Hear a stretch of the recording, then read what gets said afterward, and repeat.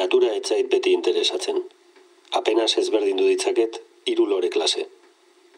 Ingeborg Bachmann.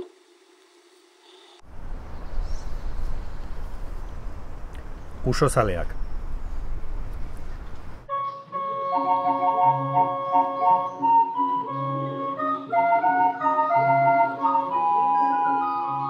Bat hartu eta iriko uso urdalde baten kontra jo nuen. Izututa egin zuten alde. Bost urten euskan, Iruñeko gaztelu plazan izan zen.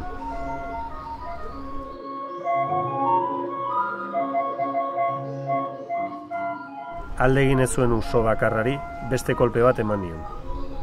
Kolpatu nuen behin eta berriro. Bere eburuari bueltak ematen hasi zen usoa. Gero eta azkarrago. Bea jo zuen. Esan nahi dut hil zela.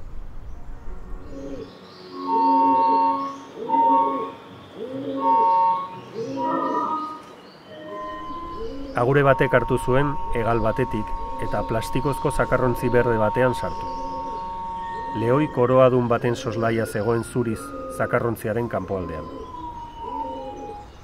Batzuetan, zalantza izaten dut, neuk ala adurrek hil zuen usoa. Badakit, elkarrekin geundela eta makila gu alako bizela, eta badakit, usoi jotza agure batek bota zuela.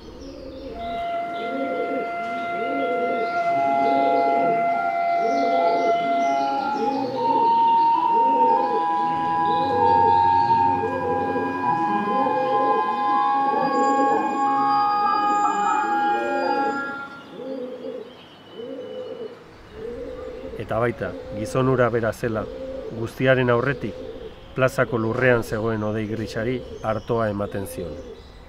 Etzigun ezer esan.